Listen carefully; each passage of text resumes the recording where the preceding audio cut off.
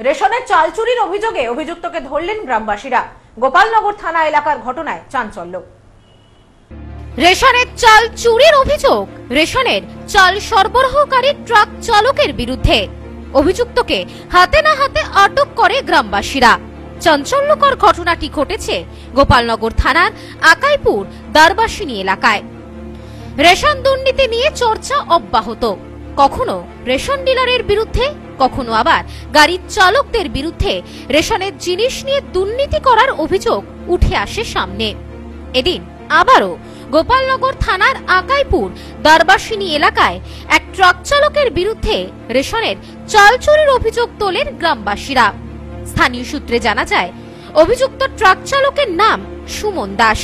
বাড়ি গোপালনগরের কানসোনা এলাকায়। ঘটনা সূত্রে আরও জানা যায় এদিন দুপুরে ট্রাকে করে স্থানীয় রেশন ডিলারের কাছ থেকে চাল নিয়ে যাচ্ছিল অভিযুক্ত ট্রাক চালক। সেই সময় দারবাসিনী এলাকায় রাস্তার পাশে অভিযুক্ত ট্রাক চালক গৌতম দাস নামে এক ব্যক্তির বাড়িতে দুবস্তা চাল নামিয়ে রাখে।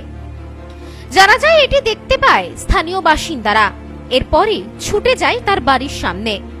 তাকে চেপে ধরতেই অভিযুক্ত সমস্ত কথা স্বীকার করে নেয় বলেও জানা গিয়েছে এই বিষয়ে অভিযুক্ত ট্রাক চালক সুমন দাস নিজের দোষের কথা কবুল করে জানান। ওই গোপাল রোড হয়েছে গোপাল থেকে। এইখানে লাভাইছি এই বাড়িতে আমি খাওয়ার জন্য যা। বাড়িতে নিয়ে যাব চাল নেই কান শোনাই বাড়িতে চাল নেই খাওয়ার চাল তাই নিয়ে রেখে দিয়েছি আমি যাওয়ার সময় নিয়ে যাব। আচ্ছা আমি তুই খাওয়ার চাল কি করব বলো? না স্যার না। আমি গাড়ি চালাই খাই তো আমার ডাল মাল নেই এই জন্য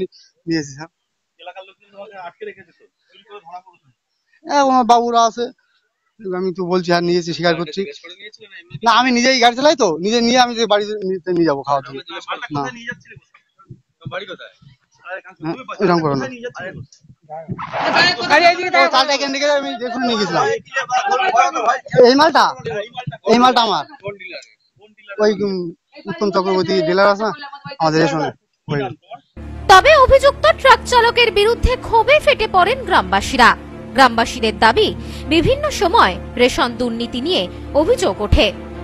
এইরকম দিনের পর দিন চলতে থাকলে রেশনের জিনিসে ঘাটতি দেখা দেবে বলে অভিযোগ গ্রামবাসীদের।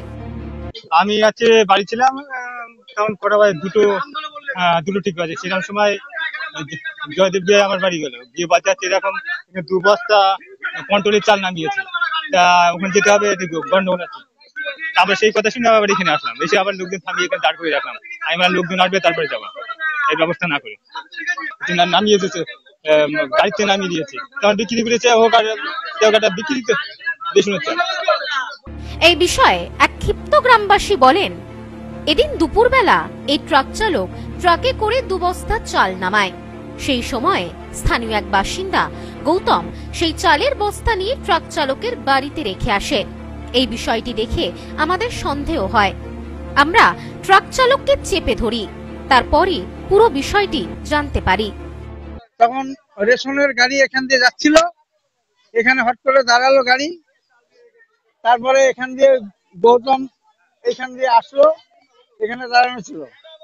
তারপরে ড্রাইভার এখানে মাল ফেলল, তারপরে গৌতম ওদের বাড়িতে মালটা ঢুকালো।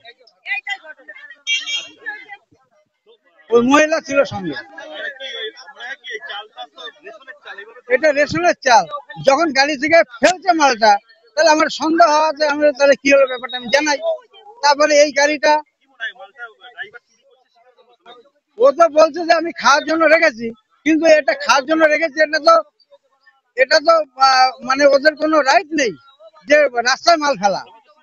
তার মানে এটা তো ড্রাইভার চুরি করেছে হিসাবে আপনারা ভাবুন এদিনের এই ঘটনায় যথেষ্ট চাঞ্চল্য ছড়ায় গোটা এলাকায়। পাশাপাশি এই ঘটনায় স্বাভাবিকভাবেই ক্ষোভ প্রকাশ করেছেন গ্রামবাসীরা।